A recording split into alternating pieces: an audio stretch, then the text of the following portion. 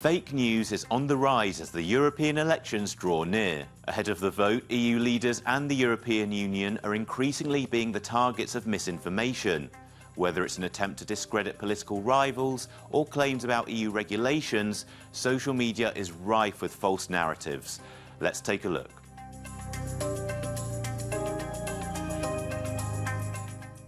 The dramatic shooting of Slovakia's Prime Minister Robert Fico has prompted swathes of politically motivated misinformation online. Social media users are claiming that this picture shows Fico's alleged attacker alongside Martin Šimečka, the father of the leader of the opposition party Progressive Slovakia. Slovakian media has identified the alleged shooter as self-described writer Juraj Cintula. However, the picture in the posts doesn't show Cintula and Šimečka together. The second man in the picture isn't Šimečka at all, and the photo itself comes from one of Cintula's book launches in 2019. Facebook itself has now labelled the post as false information. The attempted false association of the attack on Fico with his political rivals remains particularly dangerous ahead of the European elections. Across the border in Poland, Prime Minister Donald Tusk has been accused of attacking the notion of Polishness as an identity. A picture posted on TikTok claims that Tusk called Polishness an abnormality that comes to him with painful persistence. The Prime Minister did state those words,